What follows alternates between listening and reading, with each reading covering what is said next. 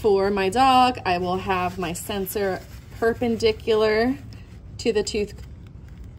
Again, tips are on the inside of the white line.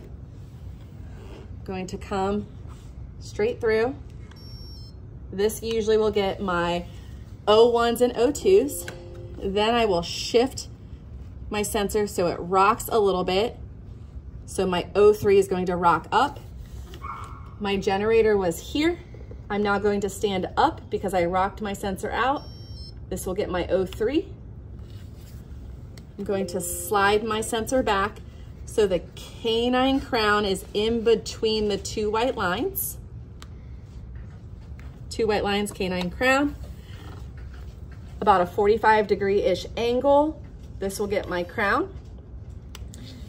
Then I will slide my sensor back behind the canine so my premolars are right on the edge of the sensor.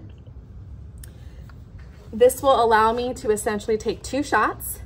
I come in at midline and stand up just a little bit.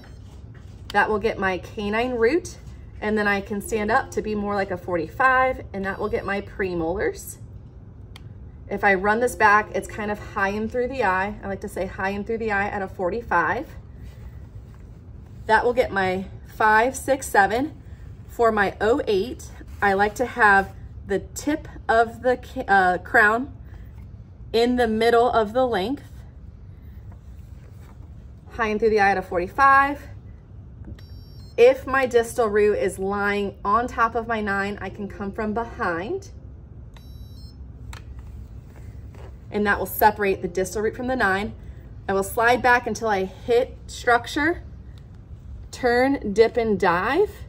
Lateral canthus of the eye runs right in line with the nine. Same thing, high and through the eye, and you can rock from behind, and that will get my first and second molar. In order to do my mandible, I do like to rock so the mandible is up. Again, sensor on the inside of the white line.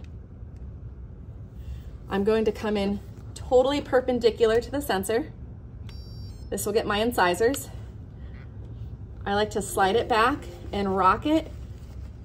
Canine's going into the L of the two white lines. Rock to match the sensor.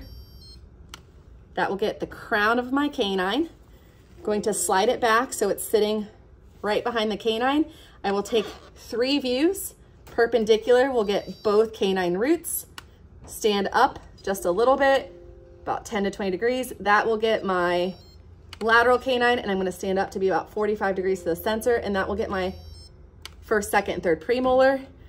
I'm then going to slide this down so I'm running parallel to the mandible and I'm gonna have the peak of the sensor match the peak of the crown of the 08.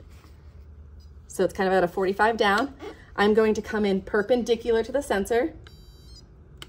This is starting the submarine dive down, push underneath the mandible and down simultaneously.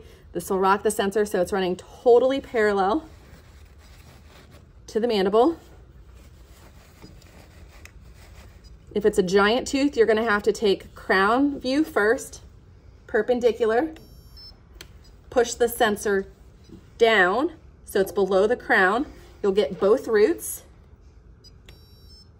And then I'm going to finish the submarine to come back up to follow the TMJ, pushing up with my thumb and down with my index finger so it shifts and then I can slide it back. So it's following the curve of the mandible. Again, I'm gonna come in perpendicular if you take the image and you're too close, you can rock from behind just a little bit and that can push the 11 up.